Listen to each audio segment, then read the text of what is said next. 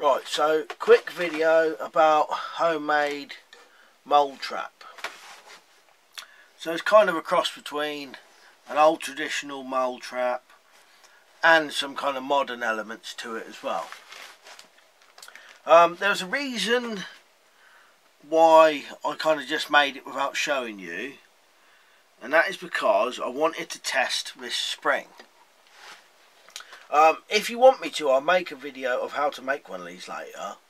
And maybe even make a proper traditional one. You know, there's quite a few different variants you can do, so I'm definitely going to do some more. But what it was, was I'd found something to make a spring out of, and I wanted to try it. So I thought I wanted to make a mole trap as well. So I'll use the spring to make the mole trap. and I'll also do a video about this spring, how to make one of these. Because this spring is now made out of the tine of a garden rake. I was just stood in the garage and I looked up and I saw a rake, a damaged rake, and I thought, I wonder how springy those tines are. So I managed to pull one off, bend it around a tube, and I'll tell you what, they make decent springs. And fairly large springs as well, as you can see. You know, not like those other ones I had from the bicycle spokes. They was quite small. These ones are fairly large springs, so you could make you know fairly decent traps out of them. And you could wind it a few more times. It makes the spring slightly smaller, so it doesn't rise as far. Well, that, that depends, but it makes it slightly smaller, but way more more powerful as well. So depending on how kind of high you want it. But then you could wind it so this bit is sticking out there, and then it will rise high as well. Anyway, so, mole trap. So, like I said, pretty similar to the traditional ones. This would be what they call a flat top mole trap. So I'll show you. So you've got, oh, and this is pretty much um, the right dimensions because I'd looked on quite a lot of different sources um, and all of them have got near enough the same dimensions. You know, maybe like half inch difference but this is about the right dimensions for a mole trap so I made the spring out of an um, garden rake tine bent it round a pipe to get the shape um, this is just a piece of wood when I do another video about this I will definitely do a video about how to make one. I'll tell you all the sizes to this. Um, and I've just it's got one two three four five six holes.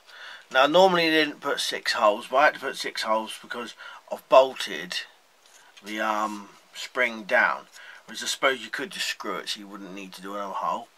But two holes each side for like your snares. And one in the middle for what they call the mumble stick um, which is the trigger basically and that's your mumble stick there. And the reason they called it a mumble stick is because in the old days while people was making or setting the trap they would stick this in their mouth and if they spoke to anyone they'd have to mumble. So that's what they call it a mumble stick apparently. So, oh and these parts which I would probably change if I do another one. These are just thin HDPE. They're quite bendy but that doesn't matter because once this is laid in the um the mole's run, it wouldn't actually matter that they're slightly bendy because it's not really going to move or anything. And these, you know, they're not much. It just keeps it up off the the bottom. But I'd probably do this next time with something harder. Um, maybe not metal, maybe just thicker HDP, or you could use Kydex or something, or thin metal.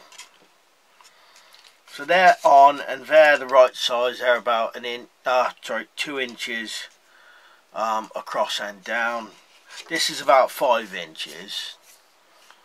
Yeah, this is five inches long and about, I think it was two and a half wide maybe, or just under two and a half wide inches. So your it's similar to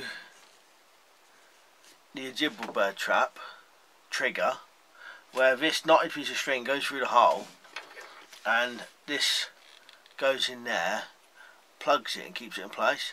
When it's knocked away, the spring flies up and pulls these nooses up and that will be where the mole is stood in there. Well, yeah, well I suppose he's standing or if he lays down in his tunnel. But it'll be in there, he'll knock it away and then that'll come up and get him. Right, I'll set it and then we'll set it off. to set it, you push that down, push your, see the knot come through, and then you plug it with the mumble stick. If it don't go in right, you just switch it around, you know, until it will stay.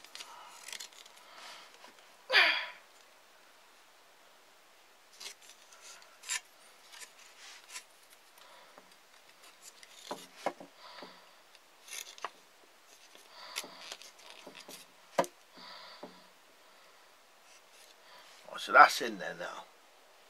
See it? So the mole, this would be in its run. So the mole would have to push through that. Then once he's pushed through that, then the trap goes off. While that's in there, you can then adjust these and get your snares in the right place. Now traditionally in the old days, they would have, you know, in the really old days, these would have even been made out of horsehair. And later on, things like brass wire, copper wire, and then I've even seen some people just use um, just like strong string in that. But horsehair was the original one. Now these have basically got to go, if possible, it's better if they go right the way down like this side is and if you can get it touching see how it is there? That one's slightly in the air but only slightly. So that would be in the run.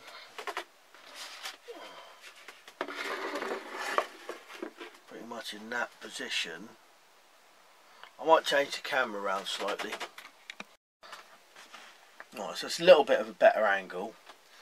Anyway, so that's in the run now. And you kind of see it there.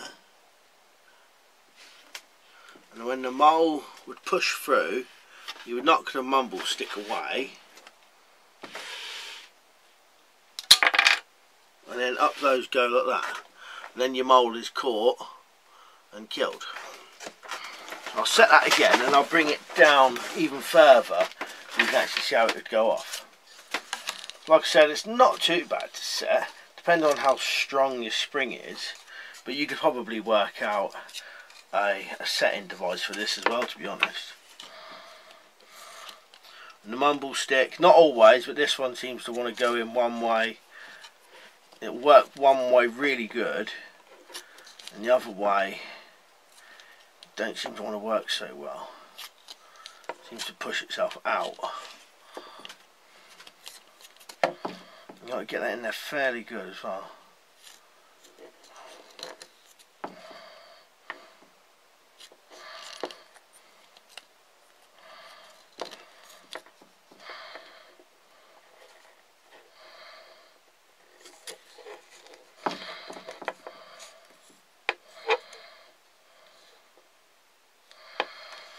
get that in there first. Right, so you should be able to see that better. Kind of like a mole's eye view. Like I said, the mole would go in. Oh, and this is the good thing about this trap. Because it's uh, a knot which is held, doesn't matter which way the mole is travelling from, you can set it off either way. So it comes this way, whatever way, it would go through the noose. And it's got to push past this which they naturally will. It'll push past that. I'll see if I can get a good place to hold this.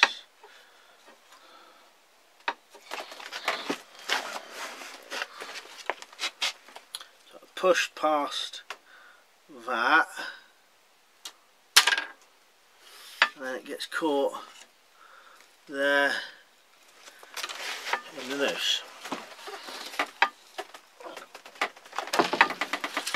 Pretty easy to make trap, nice and traditional. Um, you know, she used to make these in England all the time. And I've even seen ones, you know, made from all fully, pretty much fully natural materials. And I've also seen some kind of traditional ones made with similar thing to this, you know, semi-modern, semi-traditional. Some people make them out of, um, what do they call it? A gas pipe. So they do it fully traditional, but use gas pipe instead of um like wood, whatever. Because that was the other thing they would do in the old days. They would use wood and um bore out wood, wooden tubes and that. Because this would be a flat top mole trap and you can get full barrel mole traps half barrel mole traps all sorts of different ones but this is a flat top one because obviously it's got a flat top on it. Um, similar to a full barrel mole trap really.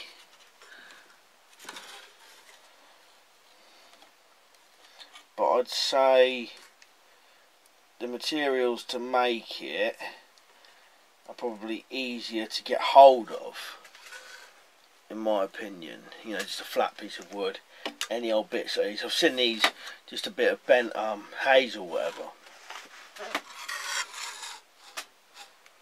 And you can see how it would work, you know, easily. It's not one of those things what you can't kind of work out whether it actually work or not. The mould goes in, knocks that away,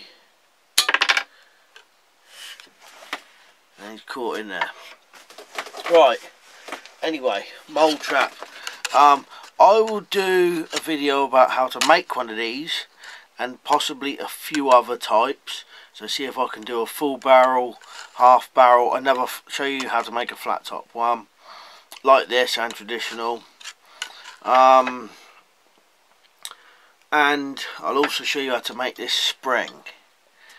And also, I've got another video coming up I've been doing a couple of videos about um, foot snares or whatever, or leg snares, and then I've made this, finally. I, I won't do it properly, but I'll just give you a quick glance, so you can see. You'll be able to see that I've made one, but we'll do that on another video, you know, that's a video in itself. Right. Oh, one last thing. I'm not going to go too much into it because I'm going to do a proper video about it. But in the old days, Vey was normally, the mumble stick was traditionally hazel. That's not actually hazel. I think that's a bit of um, plum or something to add. I need to make round ones as well. Anyway, yeah, mole trap. I'll do a video later about how to make the spring. Cheers for watching. I'll see you later.